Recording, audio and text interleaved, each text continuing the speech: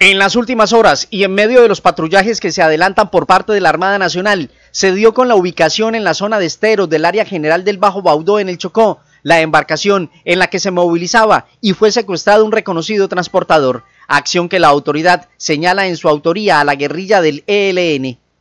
Tropas del Batallón de Infantería de Marina número 22 y del Gaula Militar Buenaventura, adscritos a la Segunda Brigada de Infantería de Marina, recuperaron la embarcación de nombre Transmaepac 2, que había sido hurtada durante la retención ilegal del transportador.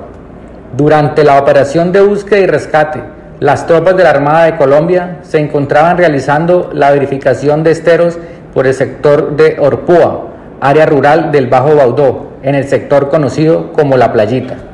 Allí se sorprendieron a unos sujetos armados, los cuales se encontraban remolcando la lancha robada. Los sujetos, al percatarse de la presencia de los uniformados, inician un hostigamiento y emprenden la huida, dejando abandonada la lancha robada y otra embarcación en la cual se movilizaban. No se descarta que detrás del secuestro del transportador está el cobro económico para su liberación.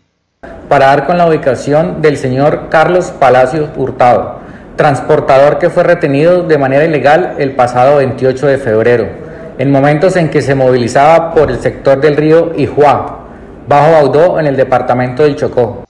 En la operación se hallaron fusiles y munición. Los patrullajes de búsqueda fueron intensificados para dar con el paradero del transportador.